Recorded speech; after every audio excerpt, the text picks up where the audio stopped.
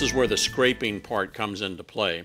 If you take a look behind me, you can see that I've actually scraped through to reveal some of the background color. And that's what I'll be doing on this painting as well. So, but you have to do it when it's still wet. I've taken foam core. You can use, of course, palette knives that we're going to be using for part of this. But in addition to it, for some of the really long areas, and I'm going to start off with that, you can use any cardboard around the house, mat board scraps if you're an artist that you might have chosen in the past. Um, I love foam core because it's really rigid. And so what I'm going to do is bring this down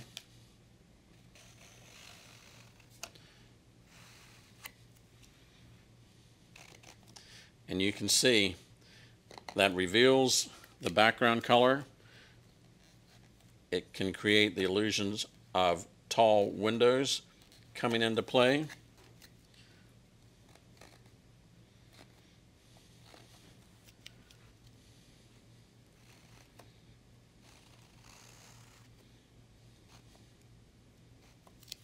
can always use the side of this.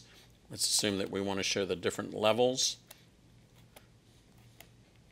of the building.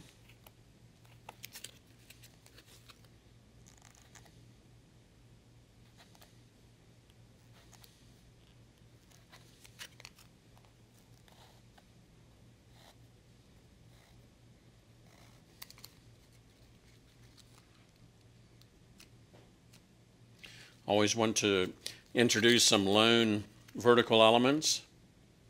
This, for example, because Raleigh's always under construction, I'm going to let this be a giant crane coming into play there.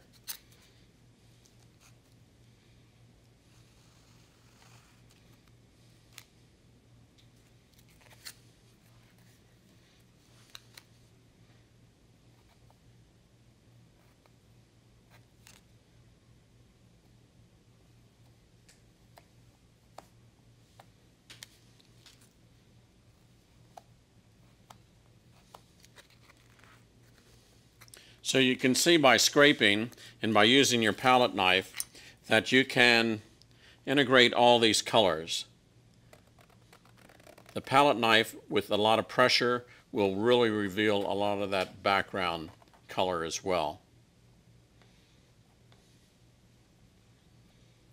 I'm using the side of the palette knife as a stamp to bring in some of this magenta elsewhere into the composition.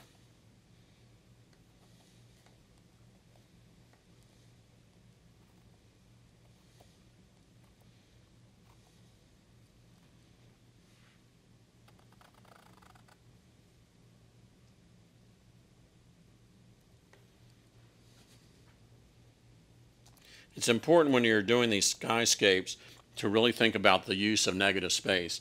Negative space is that area back behind the main object. So you can see when I follow the movement of the negative space, it's going to undulate. It's going down, around the building, up, over, down, around, down, and that just creates more visual interest.